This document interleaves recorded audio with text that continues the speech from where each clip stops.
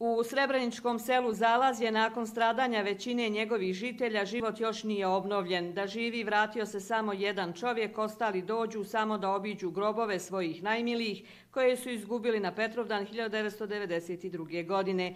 Među njima je i zamjenica načelnika Srebrenice Biljana Rakić koja je na današnji dan prije 24 godine ostala bez oca. Moj otac je 12. Petrovdan zarobljen ovdje u selu Zalaz i nakon izvjesnog vremena on je ubijen prije četiri godine mi smo e, našli njegove ostatke. E, ja mislim da je krajnje vrijeme, nakon 24 godine mi imamo e, situaciju da apsolutno niko nije procesuiran za ovaj ratni zločin, odnosno tek ove godine e, je Nasir Orić e, procesuiran za zločina u selu Zalazje.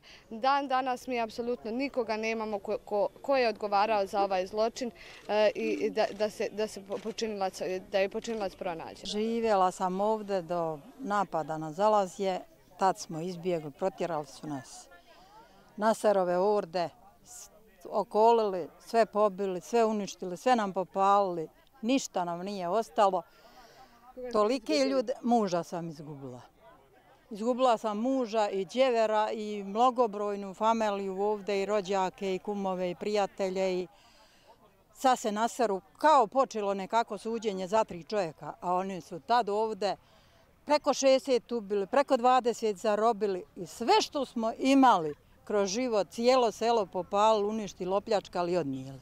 12. jula 1992. godine ubijeno je 69 srpskih vojnika i civila, a 22 zarobljena, od kojih 10 još nije pronađeno. Nakon parastosa na spomen obilježje u Zalazju vijence su položile delegacije opština regije Birač i više nevladinih organizacija kao i ostali koji su došli da prisustuju obilježavanju 24 godine stradanja Srba ovog kraja. Svake godine e, dolazimo na Zalazje da pokažemo svijetu da je ovdje ginuo srpski narod.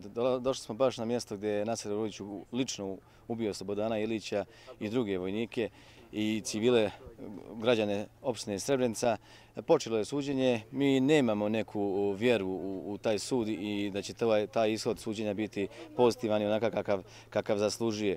E, pa iz prostog razloga zato što vidite da sada kada neko želi da kaže istinu, kada neko zna istinu, e, on se proglašava ludim, svedoci se pritišću, znači non stop se vrše neki pritisci na njih, e, podmićuju, mijenjaju iskaze, e, dokazi se uništavaju, čeka se da svjedoci oni koji su stariji osobe umru biološki, mnogo ljudi je i umrlo, tako da zaista da li će doći do konačne pravde, nadamo se, ali malo ljudi ovaj, vjeruju u to. Došli smo zbog ovog Petrovdana i trudimo se da svake godine dođemo da spasimo od zaborava, pošto očigledno na delu je neka taktika da se srpske žrtve zaborave, a mi smo tu da podsjetimo se i ovih ljudi koji su stradali a i oni su dali doprinos stvaranju Republike Srpske. Prije zalazja organizovane su posjete vojničkom groblju u Bratuncu kao i selima Sase, Zagoni i Biljače, a ovo je ujedno bio i završni dio ovogodišnje manifestacije Petrovdanski dan i Srebrenice, 24 godine zločina bez kazne.